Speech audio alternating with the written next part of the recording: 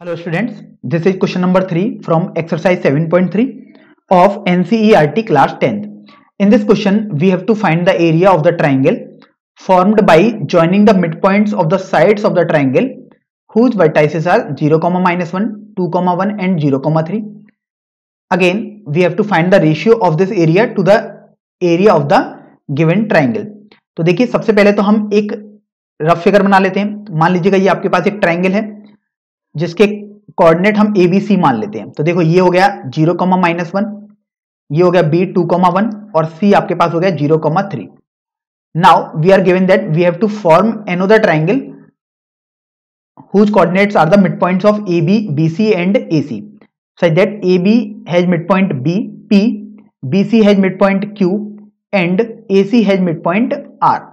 तो देखिए P के कोऑर्डिनेट आपके पास जो होंगे ज़ीरो प्लस दो बटे दो देखो मैं एक कोऑर्डिनेट आपको बता देता हूँ। वैसे हमने ऐसे क्वेश्चन किए हुए हैं पहले। तो वाई कोऑर्डिनेट देखिए माइनस एक प्लस एक बटे दो आ जाएगा। तो ये बेसिकली पी के कोऑर्डिनेट आ जाएँगे एक कॉमा ज़ीरो इसी तरीके से देखो क्यू के कोऑर्डिनेट यदि हम निकालेंगे तो देखो एक्स कोऑर्डिनेट आपके पास आ जाएगा दो प्लस ज़ीरो बटे दो मतलब एक। एक प्लस तीन बटे दो मतलब चार बटे दो, या हम बोल सकते हैं दो आ गया। तो क्यू वाला पॉइंट आ गया। अब हम आर वाला पॉइंट निकालते हैं। तो देखिए ज़ीरो प्लस ज़ीरो बटे दो मतलब ज़ीरो और माइनस एक प्लस तीन बटे दो मतलब एक आ जाएगा।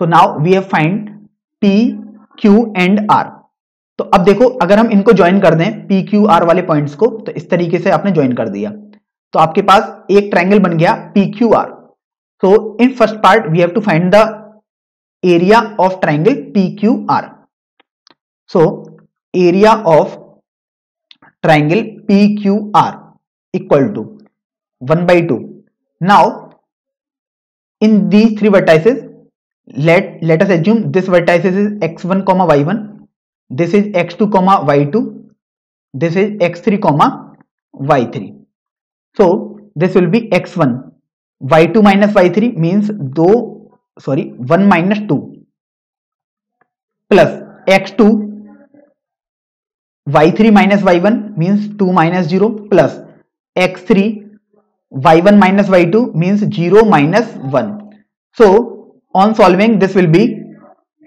half minus 1 plus 0 minus 1 so this will be minus 2 upon 2 will be minus 1 but we know that area cannot be negative. So we can say that area of triangle PQR will be 1 square units अब देखो, हमने क्या किया कि P Q R जो triangle बना mid point से, उसका एरिया हमने निकाल लिया। अब हम इसी तरीके से हम पूरे एबीसी वाले ट्राइंगल का एरिया निकालते हैं। तो area of triangle A B C equal to एक बटे दो।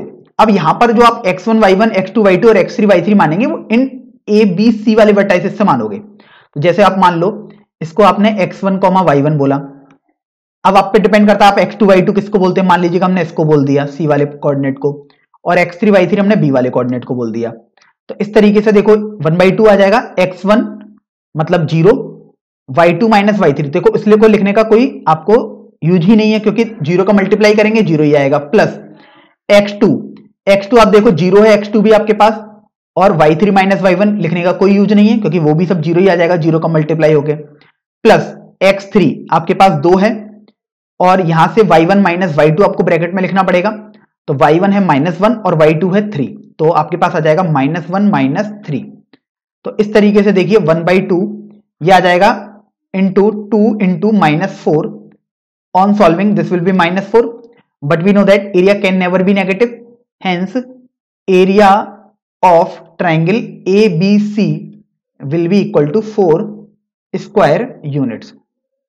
Now in second part we are asked that the ratio of triangle PQR and triangle ABC hence area of triangle PQR upon area of triangle ABC will be 1 upon 4 so this is our answer of part 2